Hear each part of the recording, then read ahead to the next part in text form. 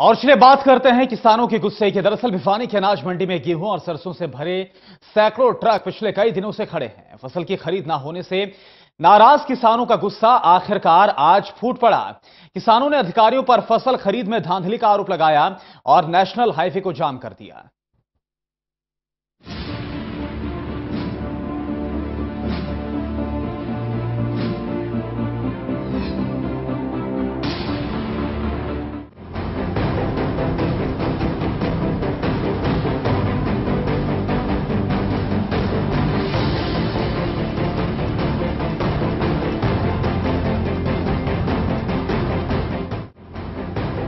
भिवानी की अनाज मंडी में सरसों की खरीद ना होने से नाराज़ किसानों का गुस्सा फूट पड़ा।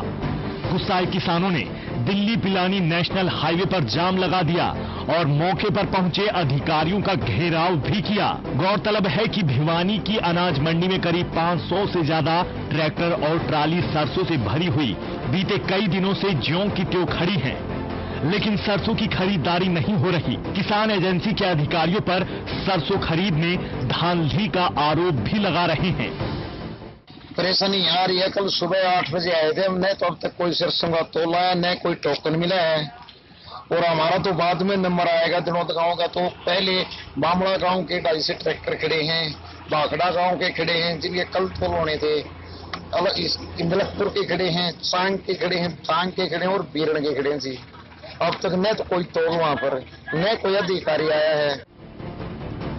किसानों ने बताया कि वो हज़ारों रुपए किराया लगाकर सरसों लेकर मंडी में आते हैं, लेकिन सरसों की खरीद ना होने से उन्हें हज़ारों रुपए का चूना लग रहा है। किसानों ने टोकन अधिकारी, मार्केट कमेटी और हैफेड के अधिकारियों पर धांधली का आरोप लगाते हुए कहा कि वो सरसों के टोकन देने, तोल करने और सरसों को खरीदने के लिए अपनी मनमर्जी चलाते हैं। टोकन बनाते हैं और फिर फाड़ देते हैं। उसके बाद नए टोकन बनाकर अपने चहेतों को टोकन पहले दिए जाते हैं। तीन दिन तक खड़े हाँ रहे तोल नहीं हो रहा कोई वो नहीं हो रहा। कोई नंबर नहीं आ रहा एक बार। अरे खराब मट्टी कर रखी। क्या लेके आए आप यहाँ? ट्रैक्टर। कि, कि, क्या चीज़ है इसमें? सरसों। तो सरसों की अभी तक खरीदारी हुई नहीं है? ना। अभी नहीं हुई है वज़न भी सूख लिया सारी सुखाई दी। खराब हो रही हाड़ा पैसा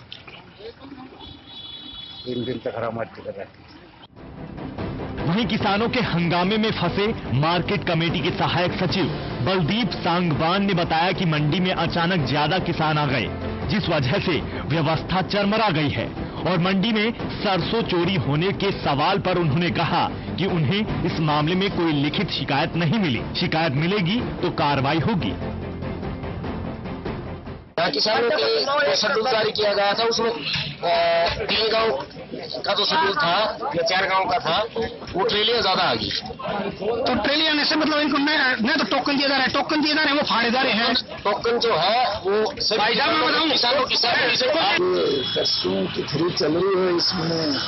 कुछ गाँव के लोगों ने विरोध किया था कि हमारी सरसों निकलती गई जिस तरह से काम लगा उनके अफसर के कर्मचारी आज जो उनको फ़सल वगैरह कर्मचारी करना भी तो उनके पास जो उनका उसको का होगा नागरिक हैं अब अधिकारियों से बात करेंगे उनका जो सिस्टम से उनकी सरसों की फरोख्त जो है वो करवाई जाएगी सरकार का दावा है कि प्रदेश में सभी जगह सरसों और गेहूँ की खरीद ठीक तरीके से चल रही है, लेकिन तस्वीरें सरकार के इन दावों की पोल खोलने में कोई कसर नहीं छोड़ रही हैं। ऐसे में अब देखना यह है कि किसानों के इस प्रदर्शन से प्रशासन क्या सबक लेता है और किसानों को कितनी सहूलियत मुहैया कराता है। Indravesh Duhan Total News Bhiwani. इधर हरियाणा में गन्ने की अच्छी पैदावार होने के बावजूद गन्ना उगाने वाले किसान खुश नहीं हैं। इसकी वजह है चीनी के दाम गिरने से शुगर मिलों की ओर से किसानों का भुगतान रोका जाना और गन्ना बेचने के लिए किसानों का दर दर की ठोकरें खाना यह आलम तब है जब सरकार ने गन्ने पर प्रति क्विंटल साढ़े पाँच रुपए बोनस देने की घोषणा की है। हरियाणा का सामान्य किसान यूँ तो अक्सर फ़सल के भाव पूरे न मिलने, लागत बढ़ने और कर्ज की दलीलें देकर परेशानियाँ बयान करता है। पर आजकल प्रदेश का गन्ना उत्पादक किसान वाकई परेशान है। वजह, चीनी मिलों की बिगड़ी माली हालत से किसानों को भुगतान समय पर न मिलना। दरअसल कर्नाटक में प्रधानमंत्री नरेंद्र मोदी के गन्ने पर साढ़े पाँच रुपए प्रति क्विंटल बोनस के ऐलान ने किसानों को इतना खुश नहीं किया, क्योंकि इससे ज़्यादा वो मिलों में गन्ना लेने की व्यवस्था सुधारने और समय से भुगतान देने की मांग कर रहे हैं। सरकार को चाहिए मिलों की परेशानी, किसानों की परेशानी दूर करने के लिए या तो इसका निर्यात करे या कोई और सुझाए, कोई उपाय करे जिससे चीनी उद्योग भी बचा रह सके और किसान की परेशानियाँ भी दूर हो सकें। दरअसल मिलों में चीनी का उत्पादन बढ़ने के कारण बाज़ार में चीनी के भाव गिरे हुए हैं, जिससे मिल मालिकों को महँगे गन्ने के बावजूद चीनी सस्ती बेचनी पड़ रही है। इसी कारण मिलों ने मौजूदा सत्र में गन्ने का भुगतान रोका हुआ है। किसान गन्ना बोना छोड़ देंगे। जब गन्ना नहीं बोएँगे, फिर किसान जागे, सरकार जागेगी। लो भाई किसानों आप गन्ना बोइए। हम आपको बीज सब्सिडी पे देते हैं खाद दवाई मुफ़्त में देते हैं। फिर उनके जागने से क्या होगा?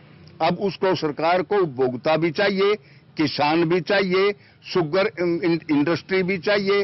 इधर हरियाणा में चीनी मिलों के फेडरेशन के चेयरमैन की दलील है कि सरकार सारी स्थिति पर नज़र रखे हुए है और किसानों की परेशानी दूर करने के उपाय हो रहे हैं। माननीय मुख्यमंत्री जी ने पानीपत की नई मिल लगने का जो प्रयास था वो लगभग पूरा कर लिया है। उनके ही प्रयासों से ये नई मिल जल्द लगने जा रही है। पीछे भी करनाल में उन्होंने शिलान्यास किया था। करनाल का भी टेंडर जल्दी लगने जा रहा है। दरअसल चुनावी मौसम है। सरकार और मुख्यमंत्री, प्रधानमंत्री जहाँ किसानों और मिलों को पुचकार रहे हैं, वहीं किसान भी छाती फाड़कर अपना दर्द बयान कर रहा है। सही भी है। मौकों को बुनाना आना चाहिए और वो अब हम सीख गए हैं। कैमरामैन धर्मवीर के साथ Devendra Kathoria Total News Panipat bureau.